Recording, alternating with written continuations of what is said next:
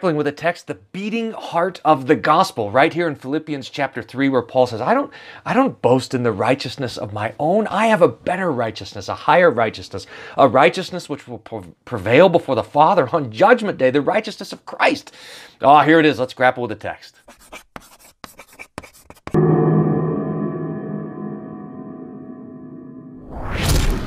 Philippians chapter 3, verse 7. Whoo, we are on pay dirt now. But remember what, what Paul's talking about? If you haven't seen, where's last week's thing? If you haven't seen last week's video, look at what he's talking about. He's talking about the thieves of joy who are the false doctrines, the dogs, the mutilation, and so forth, who, who come and say you got to be circumcised. These are the ideas that it's grace plus works, the idea of works righteousness. And Paul is just, there's nothing that makes Paul more upset than those who would replace the gospel with works or mix up the gospel with law. And so he says, I got all these things. I, I'm a Benjamin of Benjamite. I'm a, he, I, I'm a Pharisee. I'm persecuting the church. According to the law, I'm blameless. But what do I do with this blamelessness according to the law?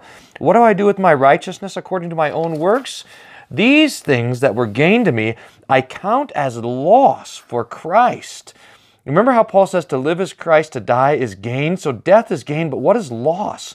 The, the righteousness, the righteousness of works, the righteousness of the law, Paul says, all that I count as loss for Christ. Why? Because you have two choices really in this life. You, you can, you're going to find, uh, you're going to be, oh, look at this. This is what the hipsters have a bracelet. See my bracelet there? Anyhow, uh, the, uh, distracting myself.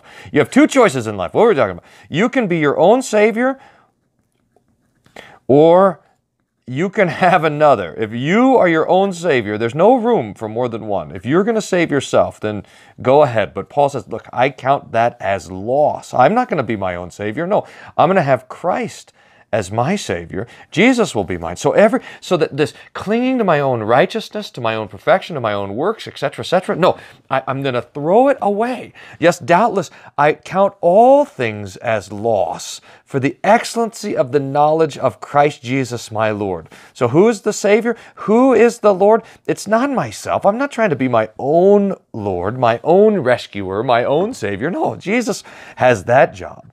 Remember this great simplicity uh, of the Christian doctrine, which basically comes down to this Jesus is Lord.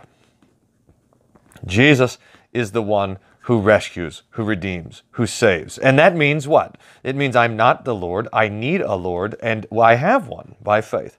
For whom I have suffered the loss of all things, and don't and I count them but dung. Oh, that's a special word. That I may win Christ. So everything else I'm throwing away. I count it as refuge, as, as waste, as skubala. Skubala. Look, how do you spell? I got the word here to show it. Skubalon. Where is it? Skubalon. Refuse, rubbish, leavings, dirt, dung, specifically of human excrement. That's what Paul thinks of his own works. That's what he thinks of his own uh, uh, of his own efforts. That's what he thinks of as being a Benjamite and a zealous to keep the law. It's just, it's, it's poop.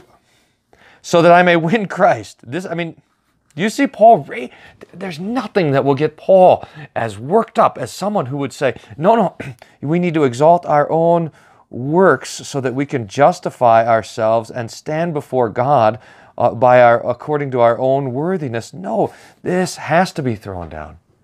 So that Paul would be found in him, that is, in Christ, not having my own righteousness, which is of the law, but that righteousness which is through the faith of Christ. Now, there's a big fight about this faith of Christ. We notice that the King James is really quite nice. If it's a genitive, it just that means a possessive. Well, it's more than possessive. It'll just put the of Christ. But this is the this is the faith that comes from Christ and it is a faith that returns to Christ. Remember Jesus is the alpha and the omega, the source and the goal of our faith. So we can understand it. The easiest way to understand it is faith in Christ, the righteousness which is of God by faith, so that God delivers us a, a righteousness, a passive righteousness, a righteousness that is not our own righteousness, but the righteousness that belongs to Jesus. It's given to us by faith. This is this great discovery, and you can go back a couple of weeks ago at Reformation time. We told the story of how Luther discovered the, this passive righteousness, not the active righteousness of the law, but the passive righteousness of faith, and that this was really was the spark of the Reformation. Fantastic that I may know him. So, so look at let's just say that I'm going to be found in Christ. I'm not going to be found hidden in my own works. I'm not going to be found hidden in my own righteousness. I'm not going to stand on the last day justified by my own efforts. No, I'm going to have a righteousness which is not of the law, the righteousness of faith, the righteousness which comes through faith in Jesus, the righteousness which is of God by faith. Now, it, this is this of God righteousness reminds us especially of 2 Corinthians uh, 5.21, where it says that he made him who knew no sin, that's Jesus, to be sin for us, so that we might become the righteousness, remember how it says it? Of God in him. So that, so that the righteousness that we have by faith in Christ is it's not even the righteousness of Adam and Eve. It's not even the perfection that they had in the garden. It's something more than that, something more wonderful than that. It's the righteousness of God. So that this righteousness, which you have, you, the Christian, listening to this, watching this, uh, grappling with the text video, you have the righteousness which belongs to God. You are as perfect, as holy, and as righteous as Jesus himself is. Your account is that full according to the gift of the gospel, according to faith. It's it's stunning. You could never, you, we couldn't believe it except for by faith because it's just impossible for reason to get there that we would have the righteousness of God. But that is precisely what we have. And no wonder if we have that righteousness that we look back at the righteousness which comes through the law and the righteousness which comes through obedience and we say, What do I think of that? I think it's a pile of dung compared to that, to, compared to the righteousness which comes to us in Christ. And when these other preachers were coming along and preaching to the Philippians and saying, "Hey, you should be circumcised. You should have a righteousness of your uh, of your own doing," and this sort of thing, Paul just says, "Oh, you got to be kidding me! That's crazy. We have a righteousness which is given to us by faith in Christ." So Paul says that I may know Him Jesus and the power of his resurrection and the fellowship of his suffering, being made conformable unto his death. Look, his, his, his, his, that I may know the things that belong to Jesus, the life, the death, the resurrection of Jesus. And I have my salvation there in what Christ has done, if by any means I might attain to the resurrection of the dead, so that he knows he's not going to attain to this by his own work and his own efforts, by his own deeds and doings, but know that it comes through the death of Jesus. Now, look at what Paul wants to know. I want to know Jesus. I want to know the power of his resurrection. I want to know the fellowship of his suffering.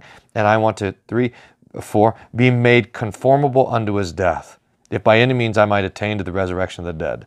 So when I know Jesus, when I know the resurrection, when I know the cross and how he suffered, then I also am suffering conformable to his death. I'm also in this life willing to suffer so that I might attain to the resurrection. Do you see it? So that Jesus died and Jesus rose again.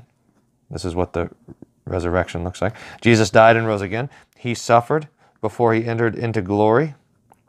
And we also suffer before we enter into glory. We are being dragged along with Jesus through this same thing. And so we live now by faith, not by sight, not by works, but by faith. And we have this great assurance that the perfection of Jesus belongs to us. Un- unbelievable.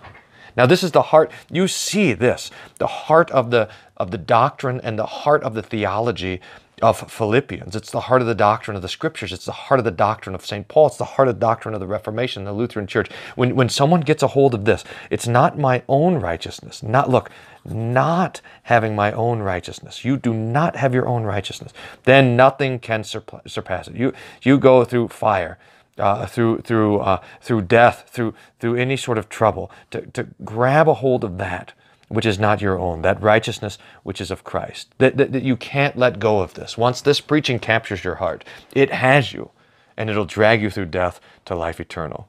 So there it is. It, let's call this the beating heart, the gospel beating heart of Philippians. Absolutely wonderful. Okay, that's the that's the fancy setup for grappling. That's what it looks like. That's what the desk looks like. Thanks for being part of this grappling, by the way. It's great fun to every week look at it. Oh, this is the this is what I've been looking forward to. Unfortunately, I, it might be all downhill from here. But there's some great stuff. Again, I say rejoice. Paul has coming up in chapter four. So stick with us. Uh, make sure to subscribe and get the notifications. We try to send these out every Monday or Tuesday or something like that. Uh, so so stay tuned for future grapplings. And if you have ideas about what should come next when we finish with Philippians, uh, post that up in the comments below, and we'll start working on that as well. Thanks.